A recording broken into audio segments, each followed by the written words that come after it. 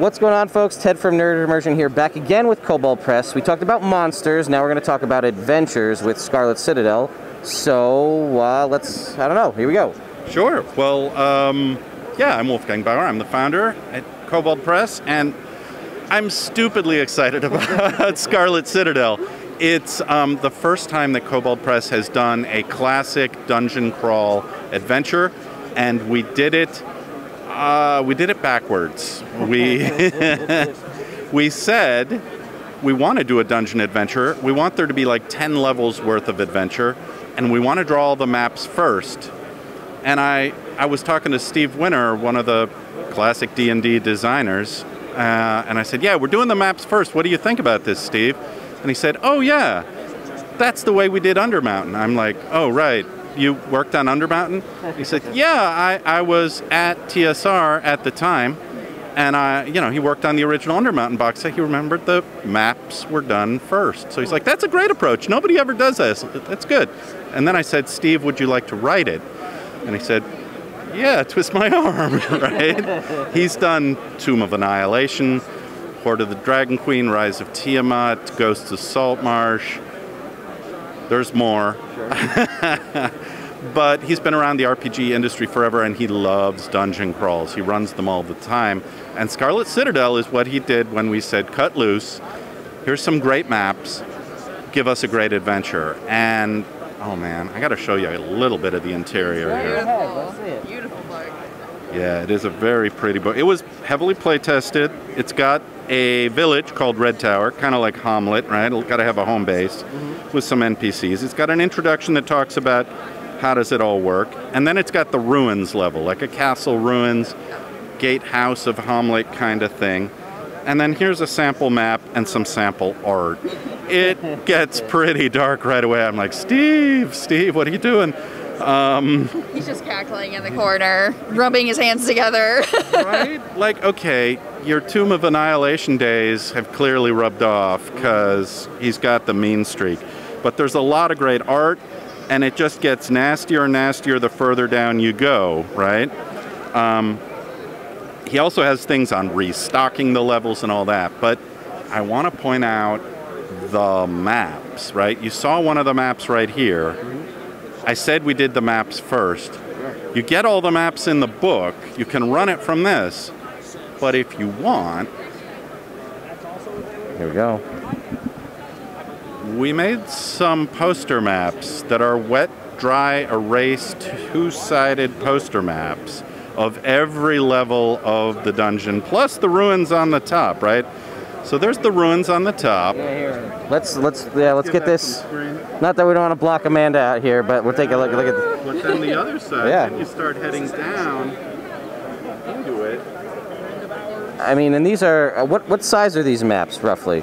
Uh, these are about two feet by three feet, and there's 13 map sides, and so that covers all 10 levels of the dungeon, every room.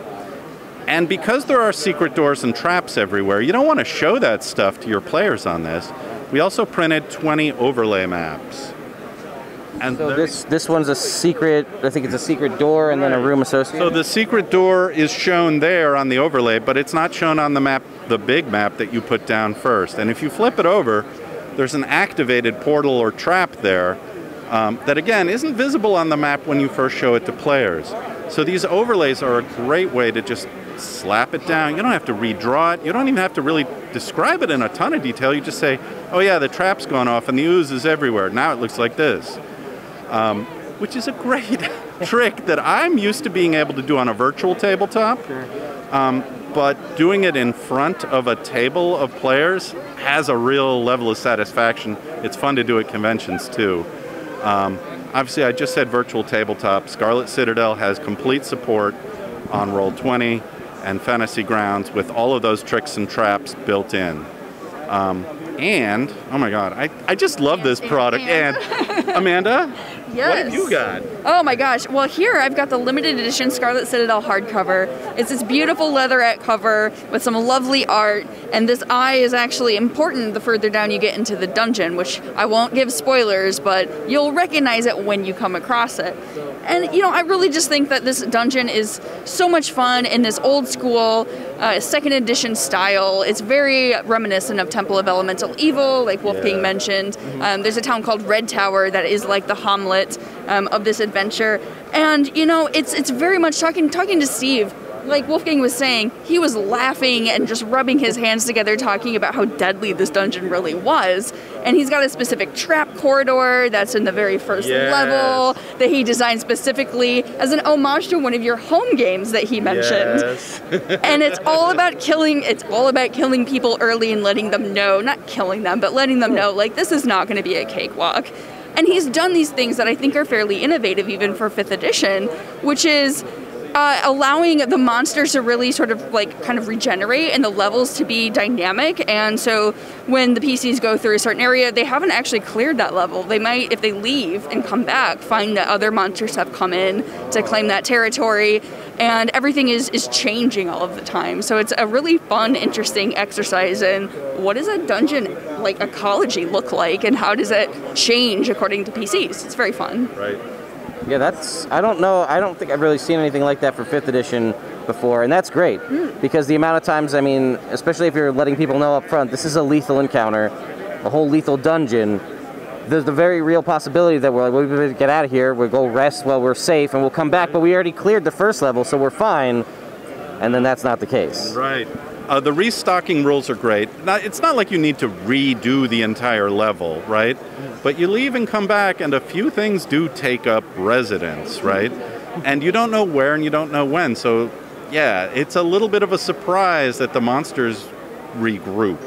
Um, but there's story elements in Scarlet Citadel as well, right? We talk about it as a dungeon crawl, but there's story woven into it as well. We call it a dungeon of secrets because there's generations of weird lore, weird pools of ley line energy um, that that infuse the dungeon. And as you uncover some of that information, I mean, it's not a story that's like necessarily character driven, but it's clues and it's a cult. I should have said too much. um, but there's a lot going on there for the game master to share with players as they go level by level. Um, at first, it's it's a it's a smash 'em up early on with that trap corridor but it soon turns into what the heck is going on, and there's a little bit of investigation in it too. So if people want, I know this was backed on uh, Kickstarter, obviously very successful. It's here at the show. But if people wanted to pick it up, where could they go to get it? Uh, it is actually out in hobby stores everywhere now. Um, I fear that we may have underprinted, and it may not stay in print for very long. Uh, it's also available at the Kobold Press store online. Um, the uh, the map pack is separate. If you feel like you know I'm playing online anyway, I don't need a, a set of tabletop maps. You can just buy the adventure part, and it's available on drive-through on the Kobold Press store, on Roll20, Fantasy Grounds. Who am I forgetting? Oh, Shard Tabletop did a beautiful implementation too. So yeah, wherever better games are sold. All right. Well, there you go, folks. If you're looking for a challenging dungeon crawl adventure with awesome maps that you can get separately or not, or you can get again. Let's post this uh, this or a very shiny foil cover or your standard cover. Both are fine. Uh, Scarlet Citadel, you should check it out. I've read through it. It's very good. It's what you come to expect from Kobold Press. So uh, it's definitely worth your time, especially if you need that dungeon crawling encounter. So thank you both so much. Thank you. thank you All right. Yeah.